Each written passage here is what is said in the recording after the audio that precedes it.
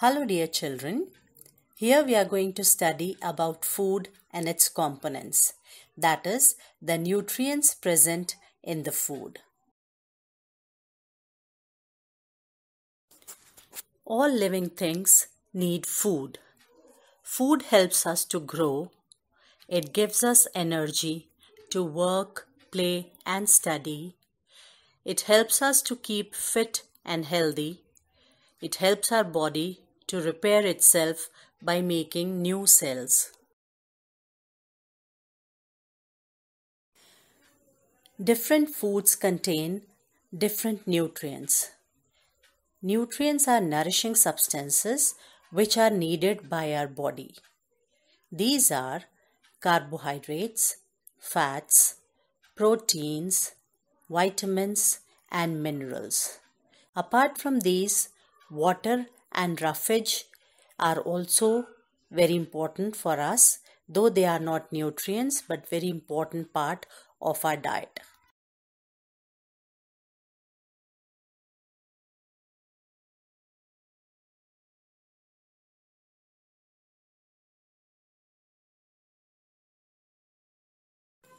The first nutrient is carbohydrates. Carbohydrates are energy giving nutrients. Sugar and starch are different kinds of carbohydrates. People who do physical work need a lot of carbohydrates. Its sources are rice, wheat, maize, potato, etc. Fats are also energy giving nutrients. They give us more energy than carbohydrates. They also help to keep our body warm. But they are stored in the body if not fully utilized, which may cause obesity and other health hazards. Some sources of fats are oil, butter, ghee, nuts, etc. Proteins are bodybuilding food. They are needed for the growth of the body.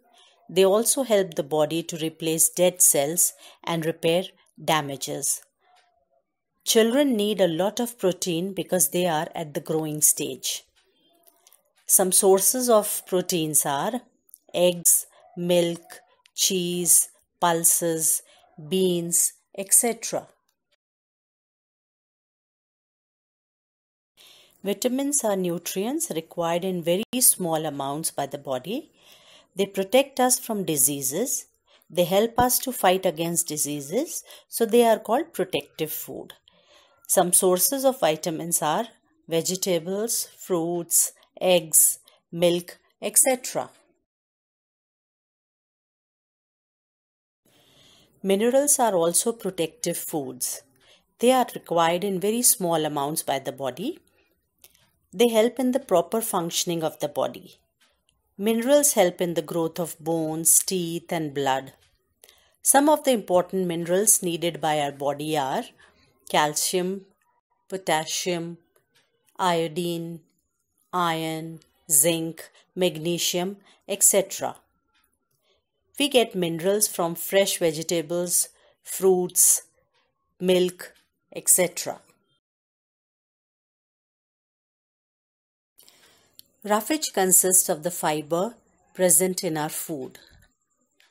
Our body cannot digest the roughage, the fiber. So it adds bulk to the food and helps in proper bowel movement.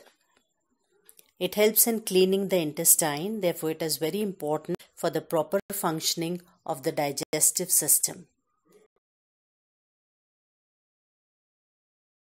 Water forms three fourths of our body weight and maintains balance of fluids in the body. It also helps in removing waste from the body in the form of sweat and urine. Water maintains body temperature and helps us to work well. We should drink at least 6 to 8 glasses of water every day. A diet in which all the five major nutrients are present in the right quantities along with roughage and water is called a balanced diet. we need to eat a balanced diet to keep healthy. So, children, it is very important that we eat complete food consisting of dal, rice, chapati, vegetables, salads, fruits, milk, etc. So, children, this was the revision of topic food and the components of food.